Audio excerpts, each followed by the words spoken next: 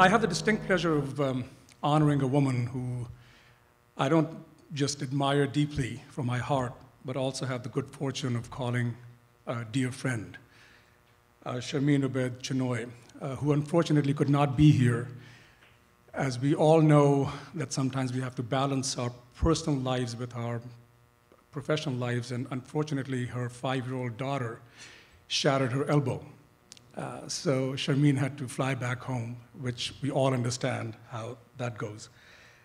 Um, has de demonstrated time and time again that filmmaking for her is not just an art form, but a powerful tool for real social change.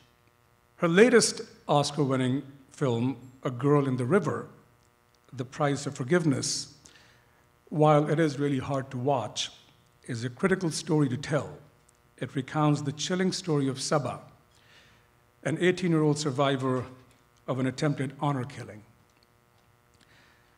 The film has successfully started a much needed conversation in Pakistan and with the government about the need to change laws and impose harsh punishments of perpetrators who commit these violent acts. I do want to acknowledge um, the fact that the Pakistan government is giving such support to this particular topic. The Consul General of Pakistan is here tonight, Jabbar Momin, and I do, oh, there they are. There, and I want to thank you for that. Thanks.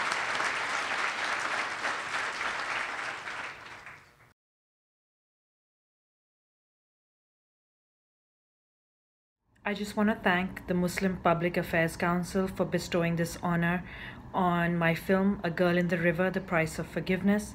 Uh, as the director, I wanted to start a dialogue about honor killings. I wanted people to realize that this heinous crime is not part of anyone's religion or culture, and I wanted to start a national discourse in Pakistan about it.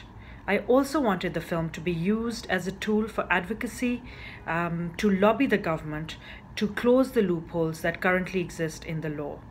As with my film Saving Face, which was given uh, an award by MPAC in 2012, the aim is to use film as a tool uh, to create change I've always felt that film uh, can make people understand issues, can make people walk in other people's shoes, and make people empathize and have compassion for subjects. Um, I think A Girl in the River, The Price of Forgiveness, has been able to do just that. Uh, we have a long uh, road ahead of us, um, and a lot of work is to be done if we are to change not only the laws but the mindsets of people but I believe we are taking uh, tiny steps in that direction. So thank you so much for bestowing this honor. And I'm sorry I could not be there in person today because of an emergency. I've had to fly back to Pakistan. Thank you.